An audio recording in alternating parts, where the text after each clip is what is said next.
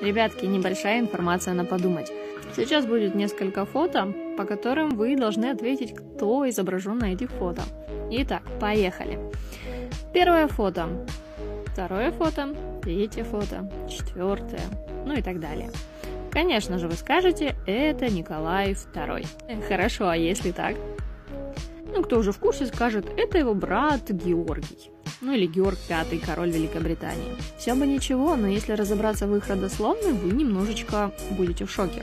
Точнее, множечко. Итак, все началось вот этой дамы. Королева Виктория.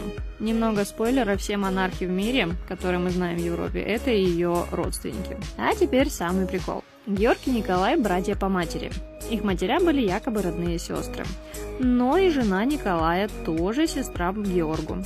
А тут уже по линии Виктории. Вопрос, кто из них был настоящим?